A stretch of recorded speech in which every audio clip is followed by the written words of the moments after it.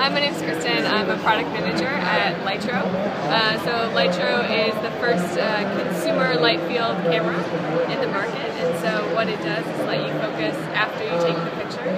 Uh, we capture traditional 2D cameras. We'll capture some of the light.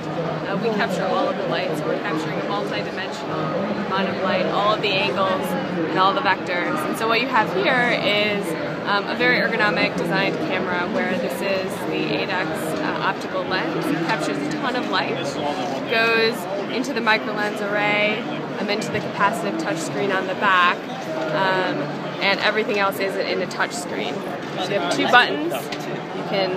Oh, the button tap- is on top. The button is on top, so it's just a one, uh, one press on and off switch, um, and then a zoom slider.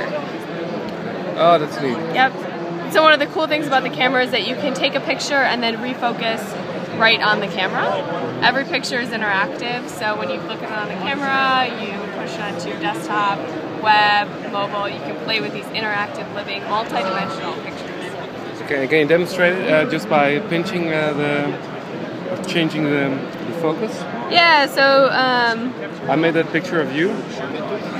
And you can then change the focus um, right on the camera. So as you, the concept is your, as you take pictures, they're really pictures with depth.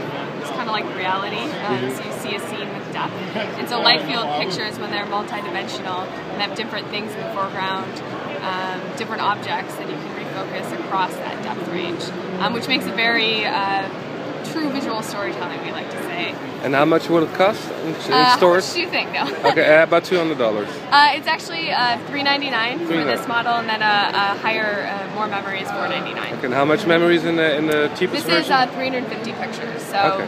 you can take it for a weekend and not worry about it. Um, yeah. Thanks.